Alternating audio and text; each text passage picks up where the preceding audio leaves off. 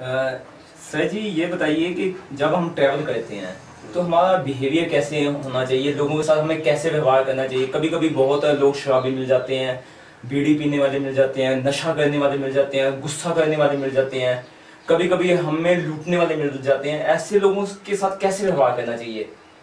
ऐसे तो ये चक्कर है एक तो अपना कम बोला जाए सफ़र के अंदर अच्छा, यानी- ज़्यादा यूजेबल नहीं होना चाहिए शराबी आदमी।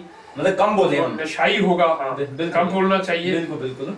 नशाई आदमी में मिलेंगे शराबी आदमी बोल रही है। उससे अलग दूर रखना चाहिए।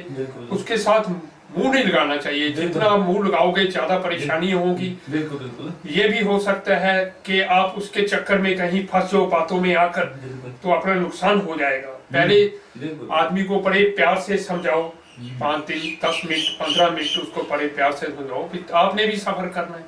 हमने भी सफ़र करना है पाँच सात घंटे का सफ़र है हमने उतर जाना है। आप अपना काम पे चले जाओगे हम अपने काम पे चले जाते।